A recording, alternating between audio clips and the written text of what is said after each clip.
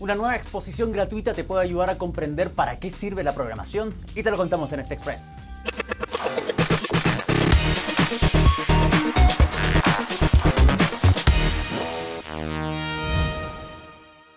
En Oh My Geek nos gusta la programación y la robótica de los niños. Hemos visto proyectos como Lego Education y hoy te queremos presentar un nuevo compromiso. El pasado martes se inauguró la Expo Robótica Educativa en el espacio Fundación Telefónica, al ladito de Plaza Italia en Santiago. Es gratuita y estará disponible hasta el 28 de noviembre de este año.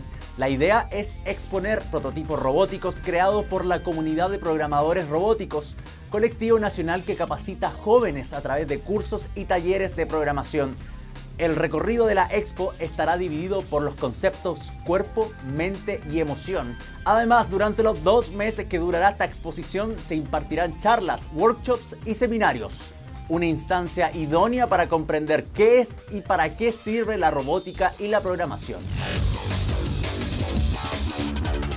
Snapchat pasó de ser una plataforma social a una empresa de fotografías. ¿En serio?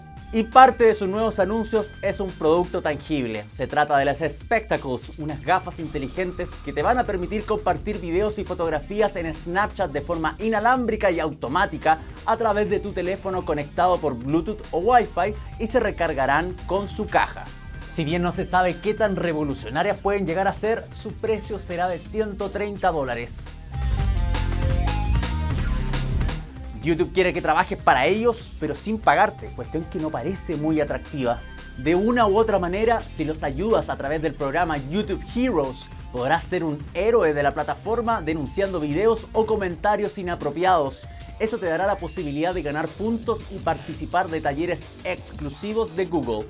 Para ser voluntario solo debes llenar el formulario de YouTube Heroes.